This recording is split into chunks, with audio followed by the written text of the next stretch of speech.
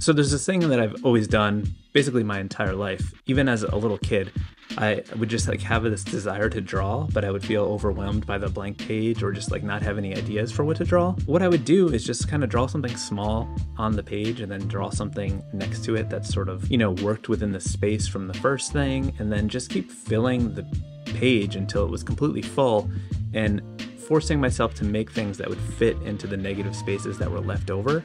And this would make me think of things differently and like draw things differently because I would be forced to make them work in the confines of like a, a, particular space. I try to make it fun, keep it loose, keep it playful. So in this video, we are just gonna start with a blank page and just fill it up uh, as fast as I can. There's probably going to be lots of stupid jokes. Hopefully you're here for that. Let's head over to my iPad and fill up a page with some random stuff. For me, the hardest part is usually just picking a spot to start. What I like to do is just kind of go for like the edge. For some reason, I find that a little less overwhelming than just the center of a full page.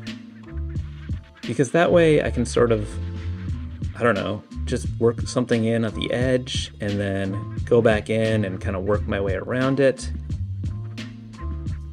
This is something that I started doing at like an early age when I had this like intense desire to draw all the time. But like I felt overwhelmed about what I would even draw. So I've discovered that if I just drew something small, I could just get started and then sort of build from there, knowing that if I just made lots of little things, it would be way less. There'd be way less pressure than just like making one good thing. There'd be lots of things to look at.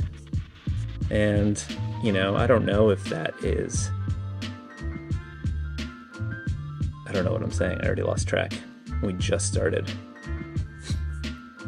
I do find that I like to incorporate words and usually sort of like nonsense and things like no, or just sort of silly. And I'm moving this over because I said I wasn't going to sketch, I was just going to go right in. And technically, I think this is not cheating. I just want to do like a, a 3D effect on this no lettering. And it wasn't going to be possible given how close it was to that weird face. I don't know what it is about things like no or just like, I don't know, little sayings. I just like to incorporate them. I think part of it is just because I like to draw letters.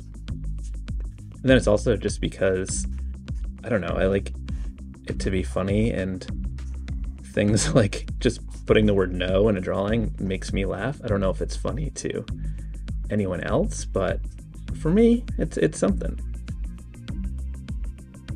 Another thing I often do is draw like crossed fingers as like a sign for you know, good luck like wanting is it is it good luck or it's like, oh, I'm going to keep my fingers crossed. I don't know. Something about that visual is funny to me.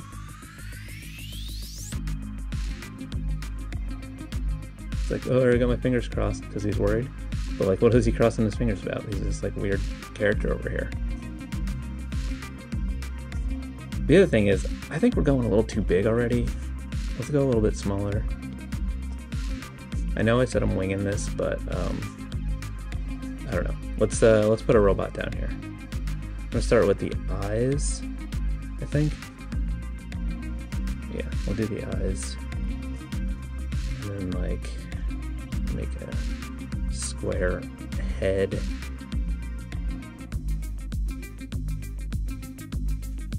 I think maybe the eyes can have like a protruding look, if you will. Maybe we can put some like eyeballs inside.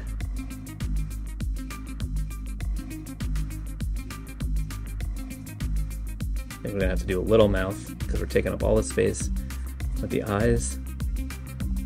And when I'm trying to fill a spot, I really like to use like all the areas and like work things in. So like putting these little antennas like into that negative space is something I really like to do. So let's, uh, okay, that's a robot. Not gonna overthink it. maybe, uh, I don't know. Let's draw a, a hot dog. I don't know why. I think hot dogs are another one of those things that are funny. So when I'm trying to get out of my own head and like make something like this, I'd really lean on humor quite a bit. Because I think when you're not taking yourself too seriously, you can have more fun. And I think having more fun leads to less overthinking what you're doing.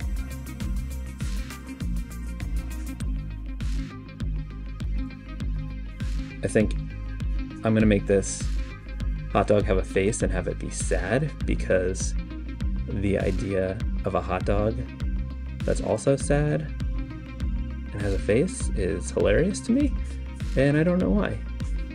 If you think that's funny and you understand that humor, uh, let me know in the comments because uh, I don't know. Maybe we can have like a, a speech bubble for the hot dog to go in this negative space. I don't know what it's going to say, but we can figure that out later. And maybe it's a thought bubble instead of a speech bubble, because he's sad, so he's just, he's in deep thought. All right, um, maybe we can do some more lettering. Maybe, oh, I know. You know that uh, phrase, hot girl summer? What if we do hot dog summer? So, you know, don't be afraid to get silly. Especially when you're doing something like this and you're trying to like get out of your own head and not overthink things. And while I'm just doing random things like this, I'm really trying to like use the space because I think part of what I like about doing these improvised doodles is like filling the space and like using as much of it as I can and just having it all be tightly locked together. Doing script like this would probably be beneficial, or, or just lettering in general, to sketch a little bit, but um, I don't know. I said we weren't going to do that, so we're just going to hope for the best.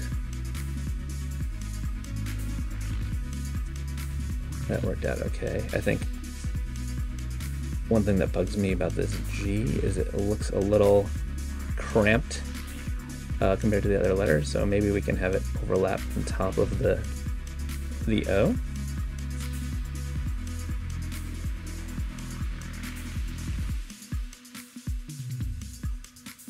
like that. Maybe to make it match, we can do like a little bit of a like a 3D drop shadow thing on these letters, just so that um, that filled in area on the G doesn't look out of place. Okay, I think that's okay. That's that's fine. Um, I don't know. Maybe uh, maybe we need to start on this side over here. One thing that I come back to a lot is these like weird, um, I don't know what to call them. They're like just little monsters, sort of like ghosts, but I just like drawing them, especially when I'm doing something like this because I can make them bend into different spaces. And as I mentioned, I really like to fill in like the gaps.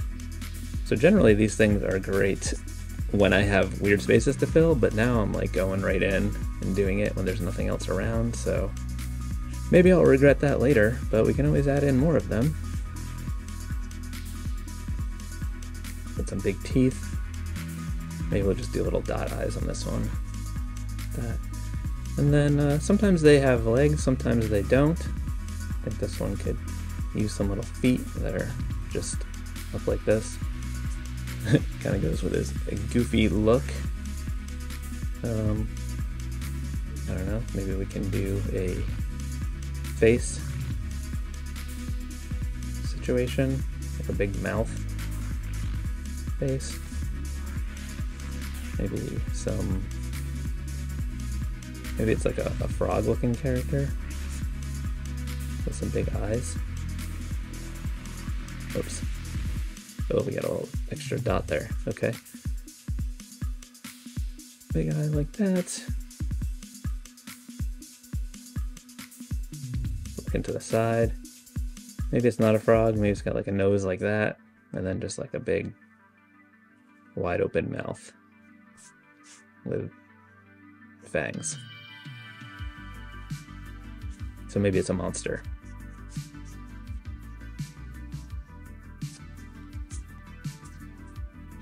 Okay, that's fine.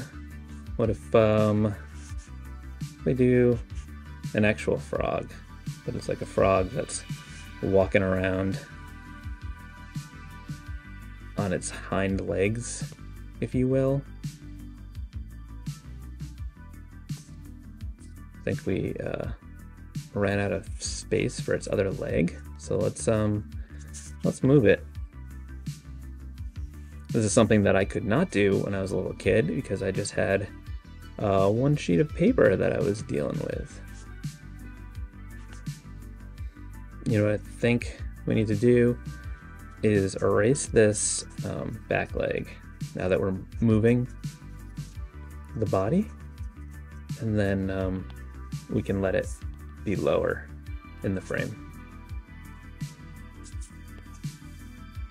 or composition. I think tipped it back a little bit so it's got that like swaggy walk.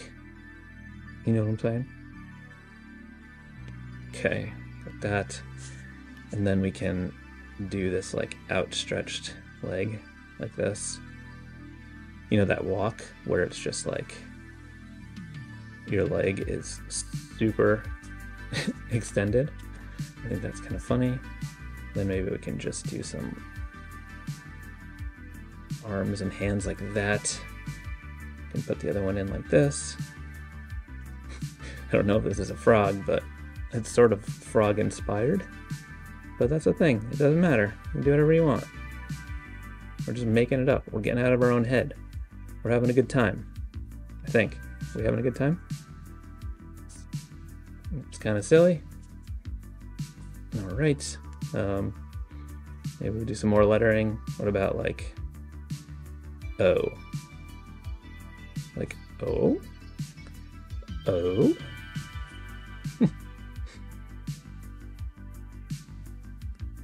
so I'm just like curving these letters to fill the negative space.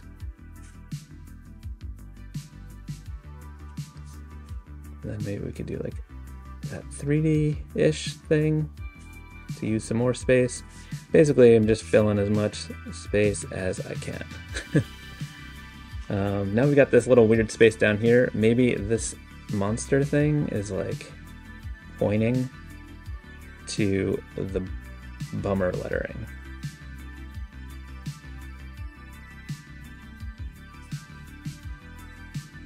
Okay. That's okay. Maybe we'll do like a, a big face up here with like a bunch of eyeballs or something. So we'll go like real big face. Maybe this can be sort of like a focal point in the composition. Chin, come over here. This might be a little too big. I think I'll just draw this in and then see. It's a little big. Let's make it a little bit smaller. Just so there's a little bit more breathing room there and we can kind of make them fit together a little bit better. Alright, so we want a, a lot of eyes here, so I'm to start with the mouth and then build in the eyes around that. So maybe we'll do a smile, like this, so that we can have those like cheek lines.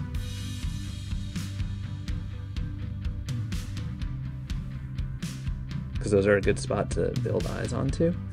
So we can start with like those normal eyes and then maybe we can build some eyes next to that like this and maybe like a big one up here close those in. Maybe another one up there. Maybe we do like two more up here. Again, using that modifier to erase the stuff we don't need using the same brush.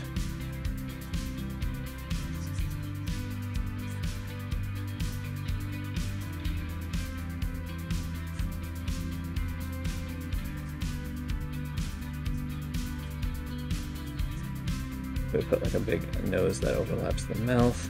It's kind of fun.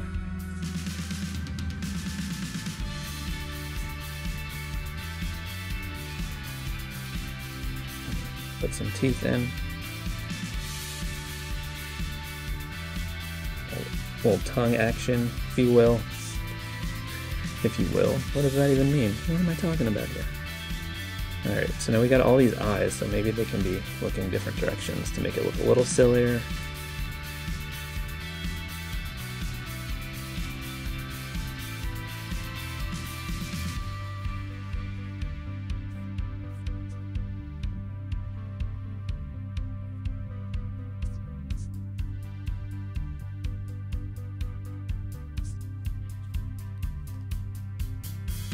That's a, a silly face. I think I don't love the way the head fits around the eyes, so I think I'm going to try to change that. We'll do this side first to see if we like it as a test.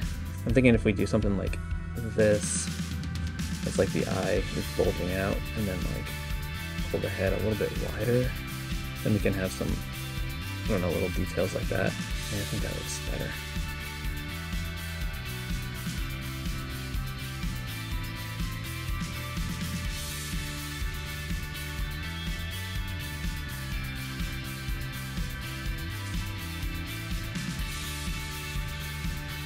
Okay. Well, maybe we can have some sort of like creature that's like wrapping around this space. And it's, I don't know, maybe its legs can come back here. Put the other one like that. I don't know what this uh, this creature is, but we're trying to use the space that we have. And that's sort of a way that this can help you be more creative because it'll like force you to draw things that you wouldn't normally think to draw because you're trying to like make something that fits a particular space within your composition. And I'm just, I don't know, I'm just going for it.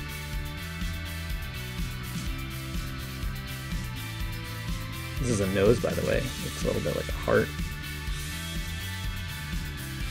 Maybe this thing is looking back at the monster with the crazy eyes. Kind of looks like a, a happy look, though. Maybe they're friends. Kind of some wacky teeth here.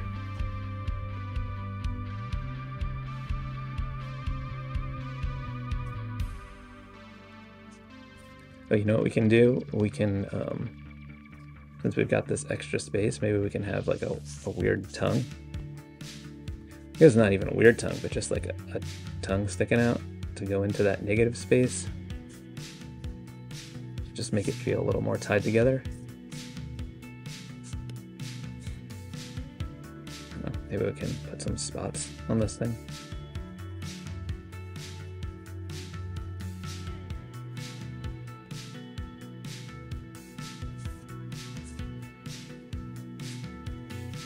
The other thing about drawing something like this, where you have all these things, is like this creature, I don't like this drawing much at all on its own.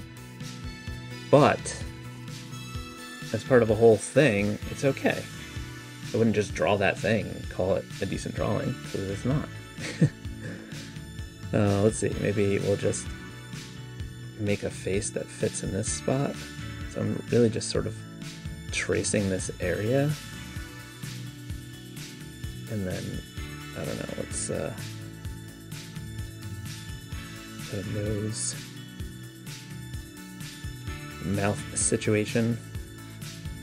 I think I probably used too thick of a brush for this uh, drawing, but I don't know. I think it gives it kind of a fun look. Almost like a drawing with a Sharpie, which is something that I used to do quite a bit. So much so that I tattooed it on my arm. okay,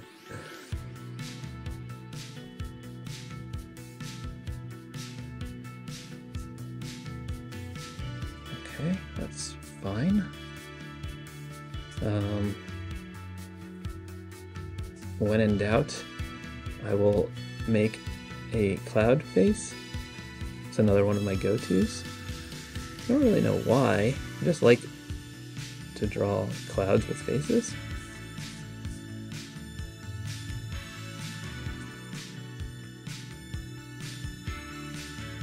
Especially clouds with like a startled face. I think that's funny. Like big eyes. And then like, oh, oh. Sounded like uh, that home improvement guy for a second there.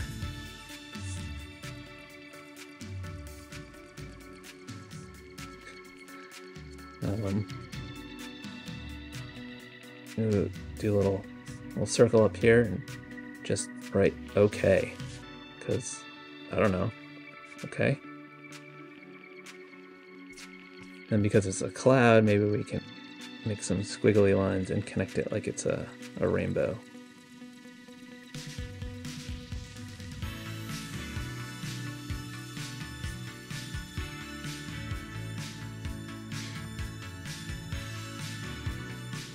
Can have a it's too big a speech bubble for this little guy down here. And then we can have rainbow lines connect to that as well. Always love a good squiggly line.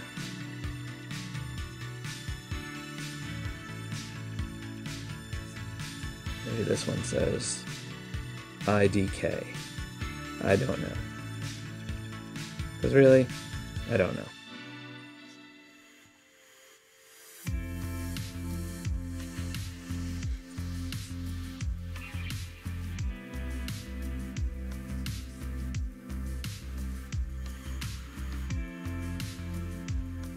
Maybe this. There can be a lightning bolt coming out because it's a cloud. There's a lot of versatility when you're doing a cloud. It sort of matches the look. I feel like now that I see the frog with the lightning bolt, a little bit of apprehension. Have some little uh, action sweat lines. Maybe it's rain bouncing off. Who knows? Lots of options there.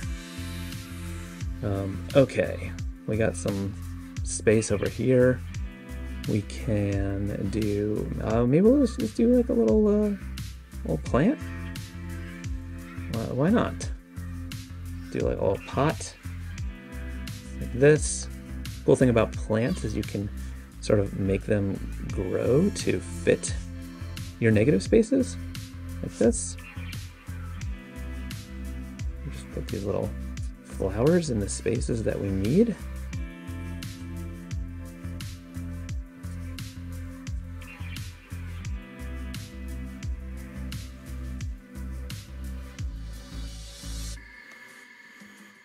Look at that. We go wherever we want because we're in charge.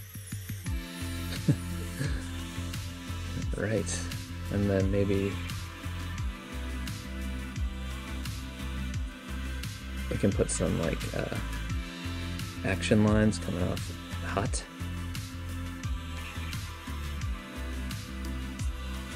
Just wrap things up and finish these things up. Maybe have some motion lines coming off of this guy looks like he could be a little bit mad. Maybe little zappies coming off his robot antennas.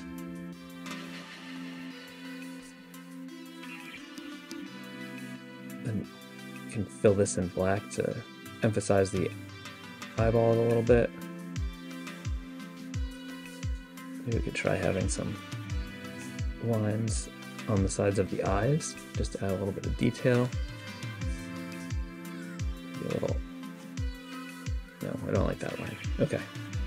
Um, mostly fine. I think um, we should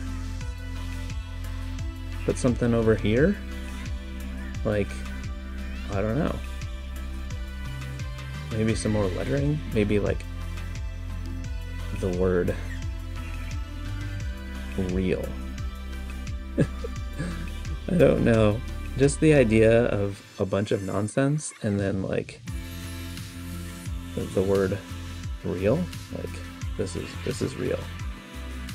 Listen we're not overthinking things. We're having fun. We're trying to make ourselves laugh. And that's like what you do to get out of your own head and just try to have some fun you know breaking rules here by having the lettering stack but then also not stack.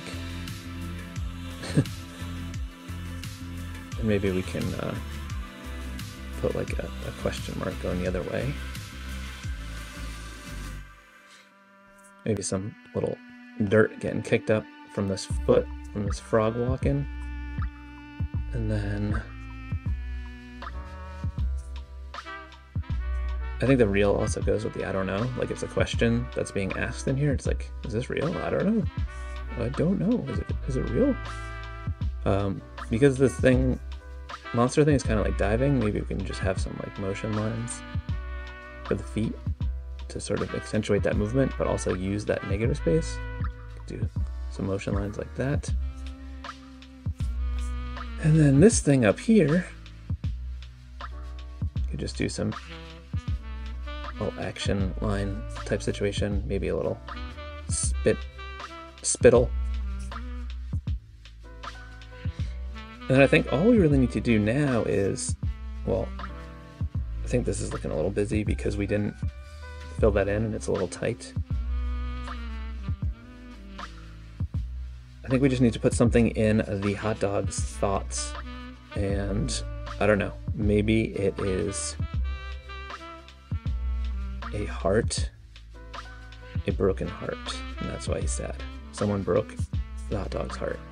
Sometimes when I finish with something like this, I'll just sort of forget about it and move along. Or other times, maybe I'll be into how it turned out and want to make like a tighter version from it. And then maybe I'll use what I just did as a sketch and make it even tighter. Or I'll just keep it as like a reference. And then when I'm trying to come up with something in the future, maybe I'll find some elements within that composition that I can carry over into something else. These sort of become like a little visual library or basically just a tool to get out of your own head. You can use them any way you want to. Hopefully you find this helpful. I hope maybe you try this out and maybe it gets you out of a creative funk if you are in one of those. Don't forget that I do live streams every Friday morning at 10:30 Eastern. Come hang out. Okay.